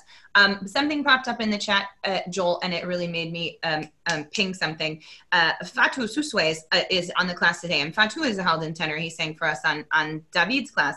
Oh, incredible Heldentenor voice. He started with Winterstürme So maybe it's just a matter of looking at a couple of these arias and seeing, you know, give them a couple of weeks to live in the voice because obviously none of us know, you know, when I pick up a new aria, it always sounds like crap it's terrible. it needs to marinate a little bit. It needs to work into the muscles of the throat. You need to work the technique into it. You need to relax the larynx around it, relax the breath, blah, blah, blah, blah, blah. And, you know, learning notes, it takes you out of that mindset.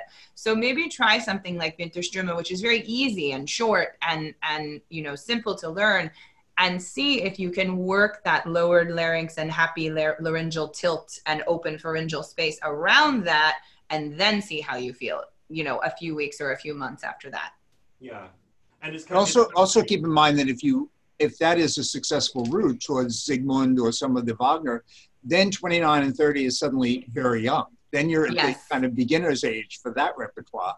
Uh, the two the two lower, more baritonal transition parts, of Siegmund and Parsifal, are the 2 mm-hmm. that have the most baritonal tessitura, so probably would be a transition. Also, just practically speaking, remember that that repertoire is only done in the States at the very biggest houses.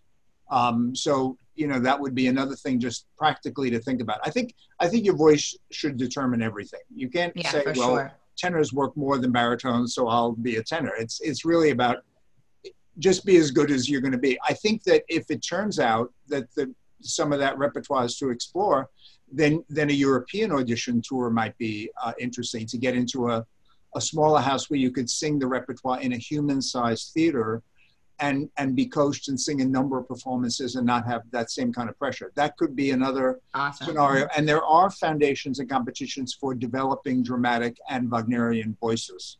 Absolutely. So if, ta- if you get to that point, that may be that may also be the way to go. Right.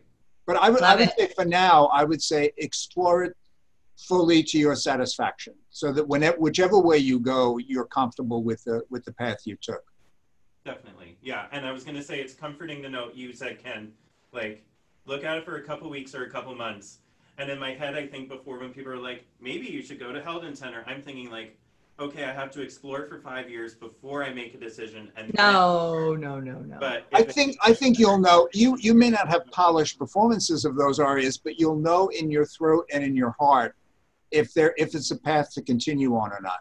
I think. Yeah. No, and Ken, you're absolutely right. Try, give it obviously more than a read through. Yeah, reading through an aria is not going to tell you anything, but giving it, like Ken said, a couple weeks, a couple months, live in it, see how you feel, see, play with the repertoire. I mean, it's you know, you're going to be able to sing all of it. It's all you know in the same tessitura as what you just sang. So just yeah, about, give it a try. What about um, Max's aria from Freischütz, which is certainly big and hefty, but it's coming from a kind of romantic thing. So oh, yeah, know, yeah. sometimes that sometimes is a the musical style is not as advanced as Wagner. It's an earlier kind of music, but certainly requires tons of heft and high notes and stuff. So Max's first aria from Freischütz is maybe a, a thing to try out to play with. Yeah, agree. Joel, thank you for being willing and open to that conversation, honey. Oh. bravo, bravo. It's hard. It's hard to. It's hard to have that conversation on at any level in any voice type. But you're a true sport, and you you are so exceptionally talented. So so thank you for humoring me for a second on that. thank you, Joel, so much. Okay, we're gonna move on to Miss Melina. Melina, are you there? Hi. Hello. Hi, hun. Um, my name is Melina Jaharis, and I would like to sing Ned Bazaria that we talked about before, Stridono lassù.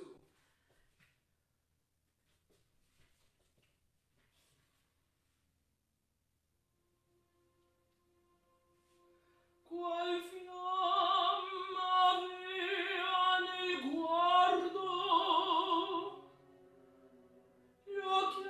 Nossa!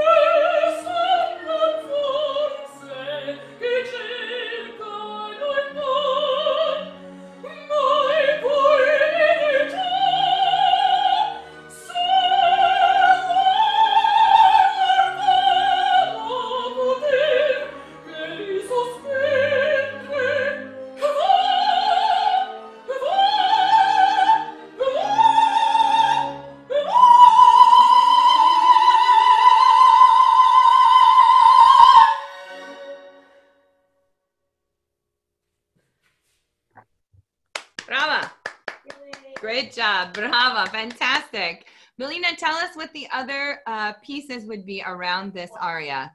Brava, brava. Um, so Ernani Volami, um, and I would consider starting with that for a competition, but there's a lot of debate. Um, the uh, Guillaume Tell pour notre amour from the Rossini. Um, Come Scoglio, um, which could possibly be Non mi dir or like any number of Mozart arias. I've now studied all of the big five, so you know that's that's those are all possibilities. Um, Chardash probably, and um, English is debatable. I could do like a Tobias Picker, like Emmeline. Um, there, you know, the the English could be any number of things. Embroidery. Um, I have been singing governess, but I think my voice is getting bigger, so I think I might be looking at some different repertoire. Um, I think that's all. Yeah. Fabulous. Ken, I'm going to throw it over to you. Okay, uh, I'm sorry, Melina. I didn't hear all of your arias. I got Shada, Sernani, Comescolio. I'm gonna put on my. Yeah, Melina, turn your mic up a little bit. Yeah, no. The thing is, is I was blowing out the mic. I need to get new mics, and I'm, I'm just during the masterclass. I was like, I need a mic consultation. Stat, please. um, so, um, Hernani Volami, um, the Guillaume Tell, um, that Jen Rowley sings amazingly. Pour notre.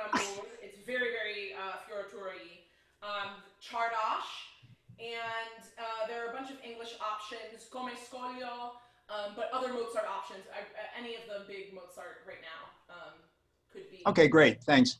Um, well, I've, I've said this before, but I really mean it. There is so much color and core to your voice, uh, and that is so important. I mean, that's that's that door. Remember in the beginning, I was talking about grabbing people.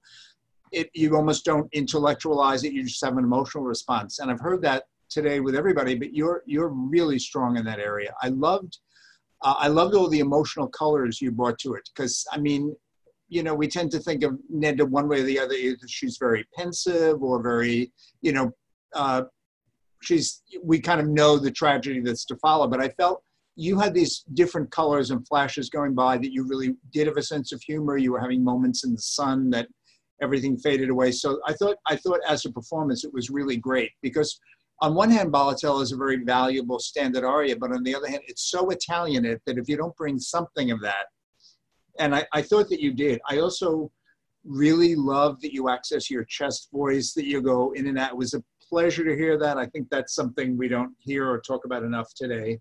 Um, so I, I really enjoyed it. I found it a very compelling performance of a standard aria. Um, uh, Jen mentioned the wonderful Lenore Rosenberg earlier, who's heard a million auditions, and someone said, "Don't you ever get tired of hearing such and such an aria?" And Lenore said, "Not if it's done well." And you know what? Why do you think those of us who love an opera, who love opera and work in opera, come back and want to hear the same aria or song sung over and over and over again? It's not because we're crazy. We want to hear what a new or young singer brings to it, and that is so exciting. So it's great if you make people feel like they're hearing a familiar aria in a way for the first time. So so that's great. Um, I think um, I, will just tell you a very quick story. I, I keep mentioning color. I judged a competition one time and we did the semifinals and a singer I had really liked didn't make the finals. And I was walking home on the west side with another judge and I said, I can't believe so-and-so, was a baritone, didn't make the finals. I said, he is, the color of his voice is so gorgeous. She said, okay, and let's face it, you're a sucker for a voice with color. And I literally stopped in the middle of Broadway and almost got hit by a car because it was a revelation to me that everybody didn't feel the same way. But to me, that that's where that's where personality, individuality, that's where it all kicks in, as if you're tapping into your color. Um, just another aria. I, I think the Guillaume Tell is a very interesting idea. I like that idea a lot. Of course, if I heard this, I would want to hear something that moved either Ernani or the Chardas. I think with your sense of fun, Chardas could be great. I'm a big fan of Chardas, by the way. I think people have mixed reaction, but I I love it. It always kind of gets me going.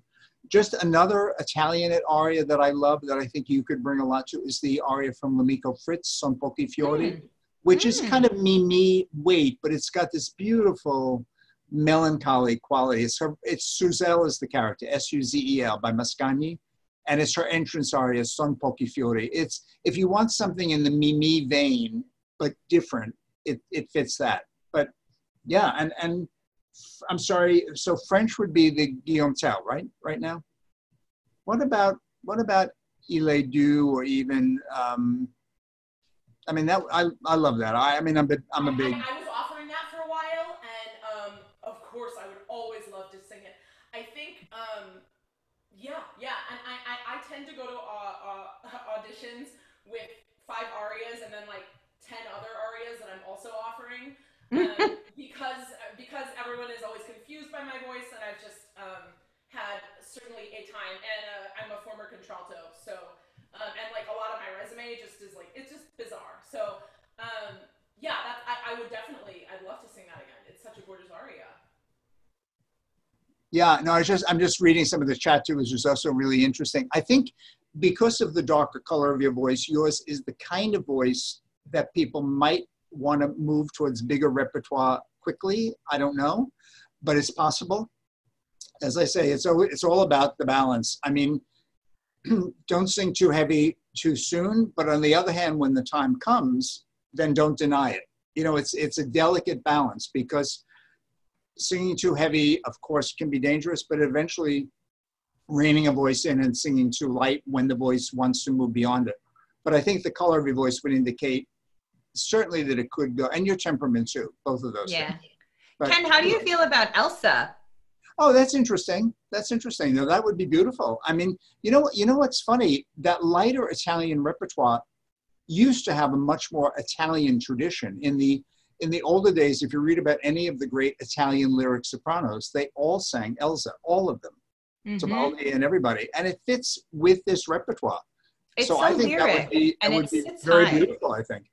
Yeah, I agree with you. I'd love to hear her sing something in German. I just love that that rich warmth through the middle. And I I do, Melina, I, I do love that chest voice. I really do. It makes me so happy. But I yeah, I I hear her.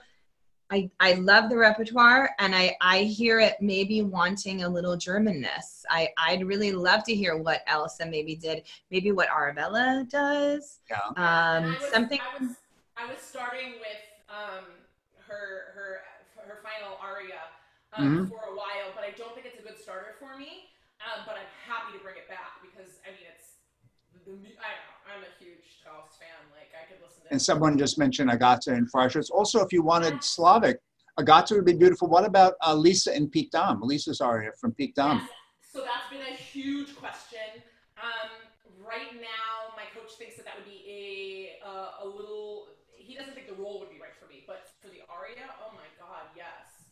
I would. I mean, watching Lisa sing it at the Met this year, like I, it's like the world was like the the world ended. It was so beautiful. I love it. I love it. I'd love to sing that. I love it. I think, I mean, I think you're really on the right path. Don't you agree, Ken? Yes, very much so. And I think you've got a lot of possibilities, and all of them are very realistic possibilities, I think.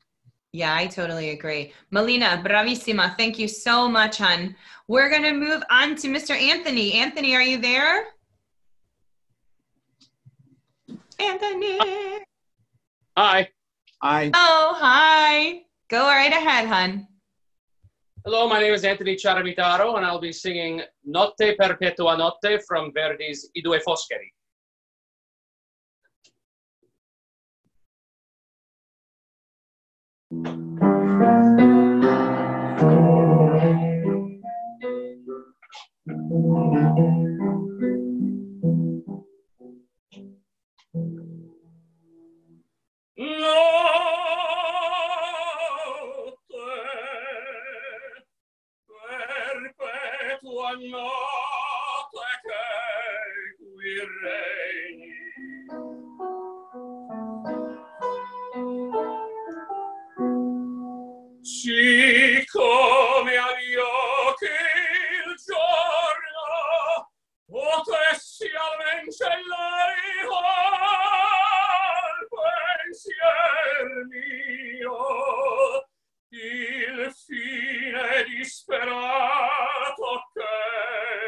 che m'aspetta.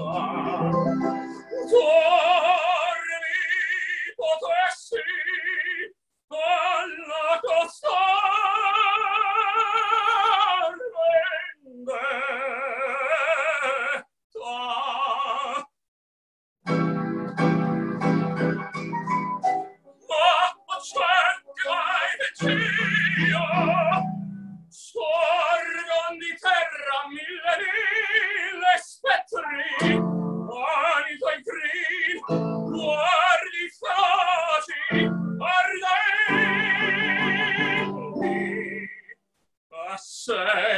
Yeah.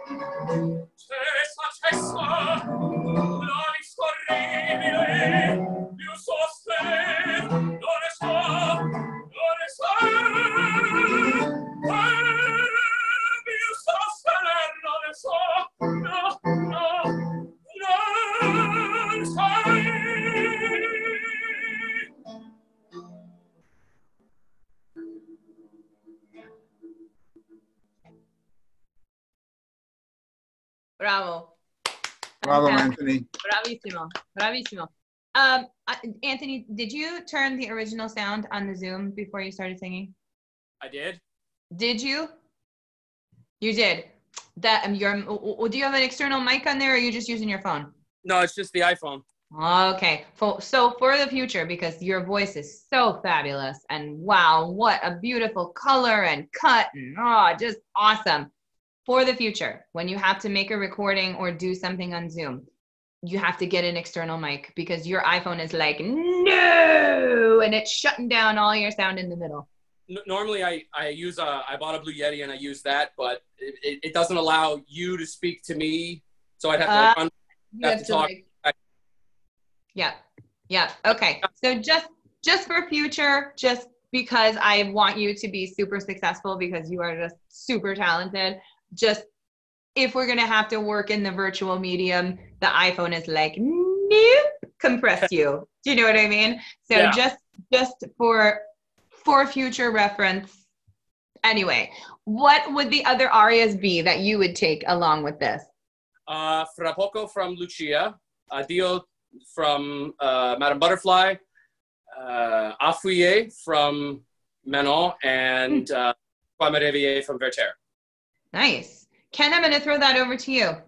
Uh, well, it was it was a pleasure to hear. You know, it's it's always a great criteria for me is will I remember a voice when this is over, when I walk away. And Anthony, you have that kind of a voice that I will stays in my ear and I'll remember it. So that's that's great. It's a pleasure to hear such incredibly Italian at singing. It seems organic and it's not unfortunately not too common today. Although it doesn't mean I wouldn't want to hear you sing other repertoire as well. I hear it's funny the first aria i wrote was edgardo because there are certain similarities with this. I mean this is this is a beautiful aria because even though it's not well known and not the opera's not done that often it's it's very easy to wrap your ear around. It still is verdi style and it it speaks to bel canto also. So i think it's it's a fine aria that the aria is not known but the style is. So it will represent it suggested to me things like edgardo and the duke immediately. Um, I, I think as far as far I'm sorry, go ahead. We, yeah. Go ahead. Um, other arias, I just think for practical reasons, the Traviata aria with the cabaletta would be valuable just because it's standard bread and butter. Um, you know what I would, an aria that I love for an Italian tenor that is very different in mood is Rinuccio's aria from Gianni Schicchi. I Mm. love, I love the mood, the words, the tempo. It's so uniquely different. And it's also a role that you could be cast in by any company like tomorrow. So it's a practical role and people do Schicchi a lot. And it would change the mood of the rep. Go ahead. Yeah. Would you would you put that into a competition class or more of an audition package for a company? Uh, I would say either. I've seen people really pull it off. I know someone who won a lot of competitions doing Rinuccio.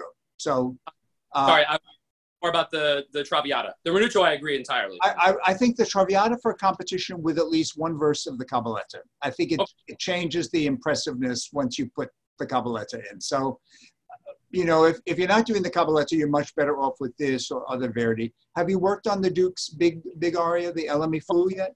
Absolutely. Mm. Yeah. Yeah. And then, of course, just as a quick change of pace, uh, actually, Questa o quella is great. Also, if you want something, you know, different in mood and tempo. Um, there's also, you mentioned uh, Afouye. I can certainly hear you sing a ton of French Mhm. repertoire. You know what I would, I immediately heard your voice in, um, there's a bunch of operas where the opera is not done anymore, but it has standout arias that are famous. Do you know the aria from Le Cid by Massenet, Au Sou- Au Souverain? Mhm. I- I- I can hear your voice in it immediately. It just it just jumps out. There's, there would be a, a really an amazing connection from Le Cid by Massenet, Au Souverain. Okay, I'll look Yeah. at it. But I mean, a lot of this Romeo, I think, would be would be wonderful. So, I mean, you, it, I don't know, Jennifer, you you say whatever you'd like, and then if Anthony has questions or wants to talk more, that's yeah great. no I, I think i think that's awesome i think all that stuff is fantastic um i was thinking about the Le Villi aria actually. Oh, that's actually beautiful. yeah i think that have you ever done that anthony I have not. Ooh, it's so great i mean obviously not standard repertoire but wow is it beautiful, Beautiful. And it's really one of those arias too that if you're again like ken said at the beginning of the class if you're ever asked to sing on a concert like on a gala it's one of those arias that obviously we don't do the opera so much but in a gala it really stops the show. And Yeah. the orchestration is absolutely stunning. I mean just really really beautiful. You know i was also thinking as like a little change of pace. What about the italian singer? Oh, that'd be Uh, fun. A year ago, I, I've I've uh, offered it. My my teacher likes to. Or my teacher has given me some new suggestions, and so we have um, the. the Oh, okay. So the you're like rotating it. It's Yeah. rotating out. Okay. Yeah. Okay. But yeah, I, love- think as a competition or a gala piece. Absolutely. yeah, yeah. I'm I'm just thinking about if there's a possibility of any German. I mean, I know you have such an Italian and gorgeous voice, but I'm just thinking if there's a possibility to add like is it do you have an English option? Um, I'm I'm toying between either the View from the Bridge, the Bolcom, um, uh, oh, what the, New York Lights, Yeah. yeah. the New York Lights, or um, I know that you all hate me from the stain of Bleecker Street. Those are Yeah, that's what I was gonna say was that I know you all was, hate me. I was gonna say I was gonna say the Bleecker Street too. I think the Bleecker Street is more impressive because it's almost like a Puccini. Yeah. Shana. New York Lights is beautiful, but it's more like a show tune. Where the Bleecker Street, I think, is is really impressive. What about Lenski? Have you ever worked on Lenski? Mm. I, I- I know Lenski very well. It was one of my first arias. Uh, it's just not very high. Yeah. Right. Right. Uh, yeah. No. It, it- you know, Lenski is fantastic artistically and expressively, but it doesn't answer questions about high notes. Just coming back to the Villi aria, I second that. It is a gorgeous, soulful, heartfelt aria. That was the aria that Michael Fabiano wrote to success for you. That oh was really? Oh, I didn't even was- know that. That was Michael's aria. It became his his theme song, which is great if that happens. But the Villi aria is gorgeous. You know, the the, the Pinkerton arias are really nice and everything, but the Villi is really special. Yeah, it's really. Okay. What, honey? Feely. Yeah, Le, Levi. Le Villi by Puccini. Yeah. Yeah, I, I just remember doing, I did Le Villi at Spoleto Festival. Another thing that Lenore gave to me from competitions was singing at Spoleto Festival. And I did the Le Villi, and I've never seen it done before. But um, Dean was singing that role in that production with me. And I'm not kidding you. I, that, I worked real hard all night and that one aria just stopped the whole show. And it was like, what soprano? What's who is she? it really is. It's fabulous. It really, really, really is. I mean, if I were a tenor, that's definitely something I would be singing because it's really, it's quite spectacular. One German aria that, again, the opera's not done that much, but it's gorgeous, is Merry Wives of Windsor Fenton's Serenade by Hmm. uh, uh, Nicolai. It's a gorgeous German romantic aria, strophic aria, really beautiful. It I'll was a big, it was a big Fritz Wunderlich piece uh, in his. in Yeah. his- yeah. it's Yeah. really beautiful. Anthony, was- stunning. But, no, no, Jennifer, you. No, no, I, I was just gonna say that the voice is is stunning. So really, anything. I mean, he could sing the phone book, and we, we would all be fine. it's really, really, really great. So, um, And you know, we what keep, would- we keep saying Italian and Italian, which is true, but that's no reason not to want to hear that quality in French or Slavic music. So it's great. yeah, I'm just thinking English. about like as a competition list, having the multiple options. You know, obviously, we we don't need to have four Italians and one French if you can do so many things because your voice is so well lined up and the technique is so beautiful. So I, I just was thinking of one other language, just trade out one Italian for the English or German or just one other thing where we could have just a little more variety in the competition list. That's, I mean, obviously, if, if you're going in and you know you're going to auditions for for Duca and on and all these beautiful Italian things, then you take your Italian list with your one French aria. That's what I do. But I do feel like for a competition, we just we just need one one more language just to really like round out that whole list and make it and make it really viable as as I am Anthony and I am the winner of this competition. So yeah, uh, fantastic work, hon. Really, But you have, really. Anthony has a question, I think. Yeah, sweetie, go ahead. On a competition list, would you prefer it to be English, German, or Russian? If you were like, yes, I like this list. Out of my five, you'd want to see English, German, or Russian. Speaking practically, I'd say English, just Mhm. because, I mean, that's there's so much American or British or newer opera being done. I, again, it comes back to what you do well. Again, people may not think they want to hear you see something, but if you can convince them, then then all bets are off. Then you know. But I would say, just in answer to that question, I think we're having a struggle a little bit with the German aria right now, but English would be valuable, Yeah. I think. I mean, yeah, my, my at the moment, if I had to sing something in German, would probably be Di- uh, Dein ist mein ganzes Herz. Well, that's fine. That's fine. Mhm. That's great. I mean, I we didn't touch on this, but I actually really like operetta repertoire as long as it requires legitimate singing. And let me tell you, if you're sitting on a panel all day and someone comes in around 4:30 and sings Dein ist mein ganzes Herz, we're very happy to hear it. So that that is actually a, a great German choice for you for now. I totally agree. Anthony, thank you so much. Really fantastic, fantastic thing, singing. Um, guys, I'm going to open it up to some question and answer here in the last couple of minutes. And while we're getting our questions into the chat, I'm going to scroll back to the beginning of the class, Ken, where um, someone wanted to know if there are any competition arias that are, or any arias that are just a no for competitions that are just you don't want to hear them they don't do anything for you any any arias which are just no I'll tell you, it's it's somewhat personal taste. I mean, the, again, you can't adjust your list to every judge's personal taste. I will say, and this may surprise you. Down there, we're we're being honest. a very hard one to pull off is O Quante Volte from Capuleti Mm, because it's very long. It's got a really extended recitative, which you can't really cut. It's it's an integral part of the aria, but it's very very hard to bring that to life. I would say so. That's one. Now I've been proved wrong. I mean, you know, I, you know. Uh, one day years ago, Nadine Sierra came in. She sang A Quante Volte and all of Antrula, and we loved it. And those are Yep. those are two kind of no-no arias, and so we we we love to be proved wrong. Uh, I, I would say, look at the length of the aria versus the variety of skills it's going to show us, if that makes sense. You know, I Mhm. mean, non media is long-ish, not terribly long, but it shows so much. Where if an aria is strophic, you know, something like the Anna Bolena final scene is hard to pull off. I think that be aware that a competition, unfortunately, time is always something that we're aware of. Mhm. And again, I think you can show at least some of those skills in a more a more compact aria. I think I think Yeah. high sopranos have the biggest problem because that's where the arias tend to be mad scenes or longer. Hamlet's a hard Hamlet mad scene is hard to pull up. But Yeah, ag- it's so again, I mean, long. Again, I mean, I I'll be honest. If a baritone sings me, it goes right past me. I don't I don't even hear it, and yet other colleagues feel well it's rangy and it's it would be good to hear at least a verse. So we all have our our blind spots, you know. Yeah, totally. I agree. Be, be aware of if something is 11 minutes long, you better be showing a lot of variety.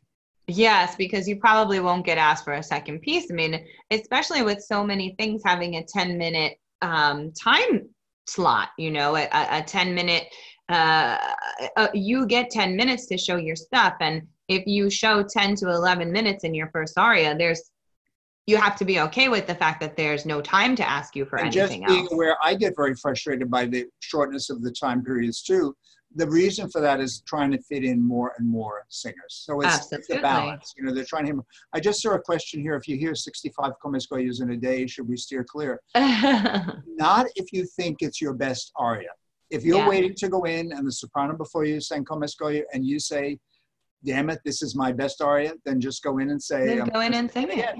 Again." Yeah, absolutely. You go in and you present what you Stand do best. Yeah. Yeah, absolutely.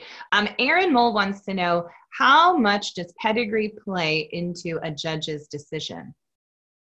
Uh, I think pedigree is interesting on paper. The minute someone opens their mouth, then it pedigree can go out the window. I mean, I think pedigree unfortunately plays a factor if people are making some kind of cut. Then if they Hmm. see all kinds of high quality young artist programs or schools or other awards, yeah. But you know what? I think the minute the singer opens their mouth, all of that goes out the window. Then then they're standing on their own talent and what they have to offer. I mean, I've heard Mhm. many people that didn't have much pedigree, and I've been blown away by them. So it's definitely possible. Yeah, absolutely. Um, anybody else want to ask some more questions into the chat before we let Ken go? I'm just scrolling back to see if there's anything else we missed here. This has been If I can just respond to informative. Melina specifically, I had actually Oh. thought, where are you? I had just thought of Pleurez mes yeux also. It is darker and bigger, but I think it would be actually a good aria for you. So I, I it was in my mind. So that was just Oh, fabulous. Sorry, question. Melina. I Yeah. started scrolling up before I saw your question. Sorry, honey. awesome. Well, guys, this has been super informative. Ken, thank you so much for being with us today. I loved it. The time flew. It Really, so much it's it's really fabulous, and and all of the information has been just incredibly helpful. And I know that every single person on this meeting will have gained something fabulous um, from the day. I'm seeing a couple more things pop up. Let's just see what we got here. Do you think competitions will be more forgiving on age because of the pandemic? That's interesting. You know what? Question. I have actually raised this question myself to some competitions and said, you know, some people were at a cutoff perhaps of 30 or 35. It's really not fair if they lose the chance. And most competitions I've spoken to have been very cognizant of that and very open to seeming advancing the age limit for a year or two because of the pandemic. So I think that that's going to be factored in favorably. I think I heard that the Met competition was actually raising the age one year. Good. Like that actually has come out already or or last week or something on on social media. So That's I think they're they're probably already doing that. So guys, thank you all so much for joining us this week. As always, if you can, we are not asking you to pay for this class. We are not asking you to pay for any of these classes. But if you have it, if you have an extra five bucks, if you have extra 10 bucks and want to donate to Fort Worth Opera, we would really appreciate it. We can keep this content coming to you all summer long. And, you know, everybody needs a little extra cash right now. So if you have the means and can donate to Fort Worth Opera, that would be great and very helpful. Again, we are not asking you to pay for this class, so it is not necessary. But if you can, we would appreciate it. Next week, da da da da, announcement, announcement, we will have conductor Dean Williamson with us for a class completely on the singer conductor relationship and how to work with a conductor in different types of rehearsal situations and on different types of repertoire. So the singers that we're going to choose for this class are going to be completely different repertoire. We're going to have some Mozart, some bel canto, some Verdi, some long recitative, some short recitative. So we can really get to know the singer conductor relationship and how to work with that conductor. So next week, Dean Williamson, again, you guys can uh, request to audit. You get the first shot. We will not put this on social media until Monday. So you get the first thoughts. And as always, the applications for singers are rolling. So we have not chosen our five singers for next week yet. So if you have not sent us an application and would like to, please do. And if you have already sent us an application and we haven't scheduled you yet, you are on a list. I promise you. And we are considering everyone who applied all the way back at the beginning of June for all of the classes through August 1st. So please don't think if, if you haven't been been scheduled yet that you are not on a list anymore because you are. And we are very, very much looking forward to next Saturday's class as well. So if you'd like to audit or apply, send your email to masterclass at fwopera.org. Ken, thank you so much again for giving us your Saturday afternoon to go Yes. over all of this incredible information. Thank you to Cloe, Julia, Joel, Melina, and Anthony for singing so beautifully today for us. Thank you all, and thank you for bringing your repertoire so we can dis- we could discuss that and really get an idea of what a good competition repertoire list would be for the different voice types. It was super helpful, super informative, and we appreciate you all. Thank you so much. Ryan, I'm uh, going to throw it back to you. I Ken, wanna yeah? I just want to say it's been a total pleasure. Thanks to everybody, and I hope I see and hear you all in person live. Yes, thank you. Yes, for sure. Live and in person for soon would be soon would be so nice, wouldn't it? All right, I'm gonna throw it back to you, Ryan, and we'll see everybody next week. Ken, it was such a joy to have you with us today. Thank you so much. It was my pleasure, Ryan. Thanks for your hospitality. Of course, of course. I love you, Jen. You know that. I love you so Love much. you. Mwah. Mwah. Congrats, all you wonderful singers. You were awesome. And thank you, everybody, for taking the time out to be with us today. And I hope you have a fantastic weekend. Thanks, guys. Bye. Bye.